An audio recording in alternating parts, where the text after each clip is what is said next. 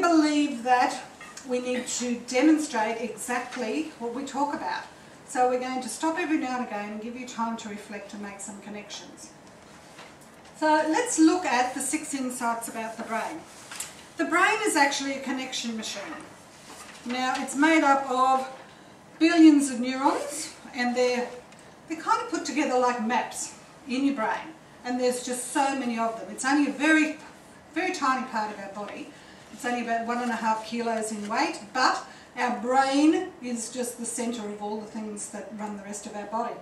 So it's a connection machine and it seeks to understand new information by comparing it to the things that you already know.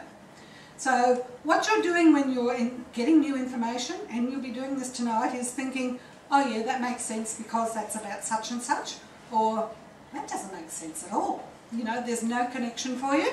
And that's what we call a bit of a mental impasse. So sometimes you need to sit with those. The annoying thing about those impasses is the brain won't let it go. Has anyone experienced that?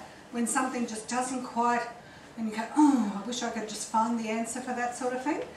So sometimes you just need to let it go and allow your brain to come up with some sort of a solution for you. I'm going to explain a little bit more about that. Stand and down into your spinal column and into your body. So what are the implications of that? The implications of that, that chemical by the way is called cortisol.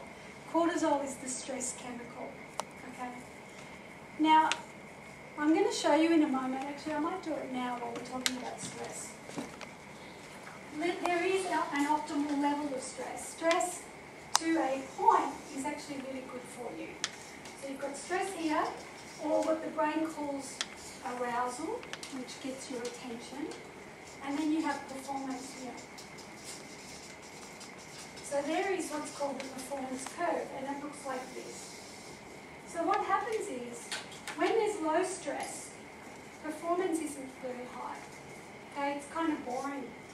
You don't have that motivation to kind of stretch you and, and push you to learn differently, to do differently. But there is an optimal level of of stress that's required to get optimal performance.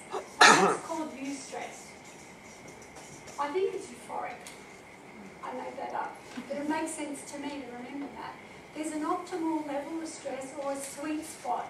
They call it the Goldilocks spot, where it's not too hot, not too cold, not too much, not too low, right? It's just right. And that's where you're going to get the best performance out of me.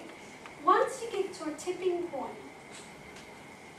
I'm likely to go limbic, right? Where now I don't perceive that I'm in control. I don't perceive I can handle the level of stress that I'm having to deal with. What happens here is I go into distress. Uh, and so my performance starts to drop off.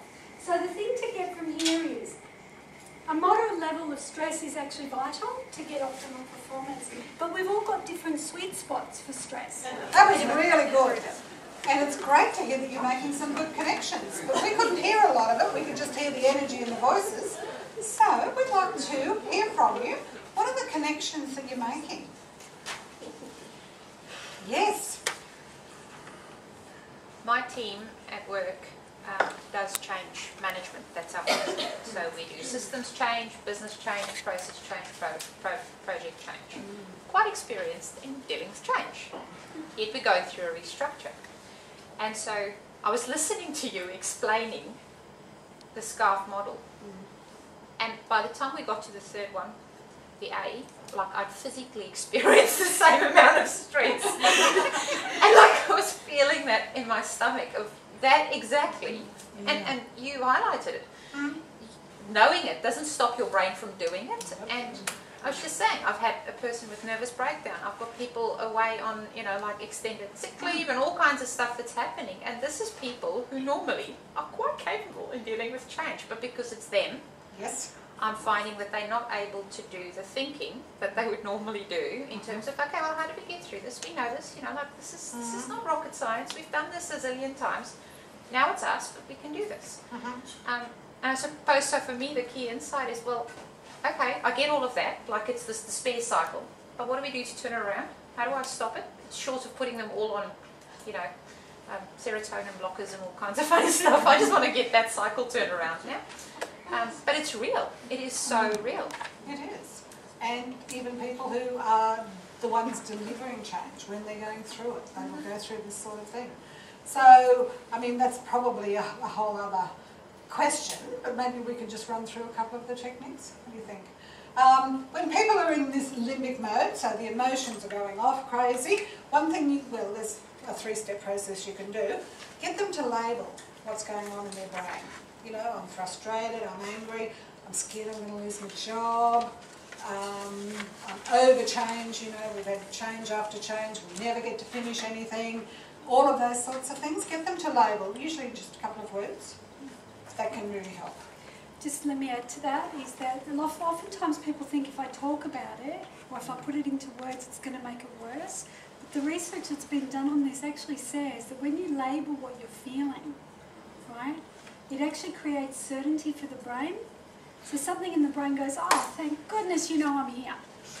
Right? Because what we try to do is we depress or suppress, and that makes us depressed. Oh. Alright? So labelling's the first step. What do you feel? Really important distinction, not I am, I feel. Because when I say I am,